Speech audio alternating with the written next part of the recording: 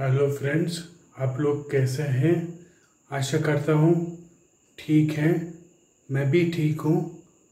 आज हम लोग बना रहे हैं गाजर का डोसा। ठीक है?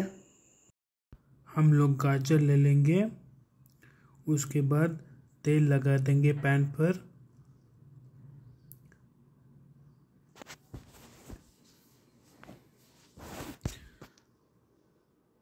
हम लोग गाजर लिए है ना।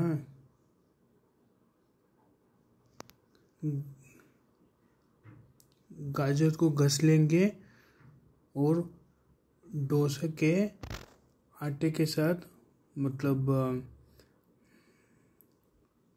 उसको मिला लेंगे।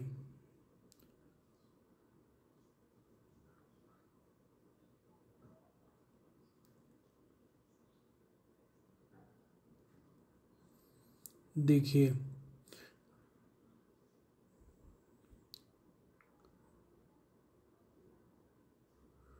हम लोग ने गाजर भी मिला दिया है।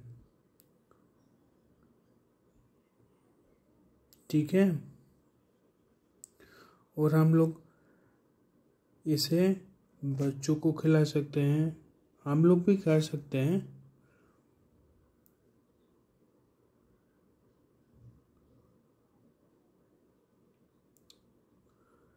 ज़्यादा से ज़्यादा चार मिनट से पाँच मिनट लगता है। हम लोग चाहिए तो स्लो आज रख सकते हैं या तेज भी कर सकते हैं।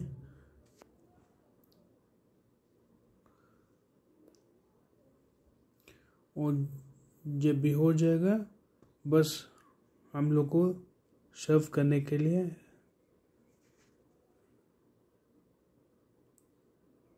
रेडी रहना है। ठीक है? Okay friends bye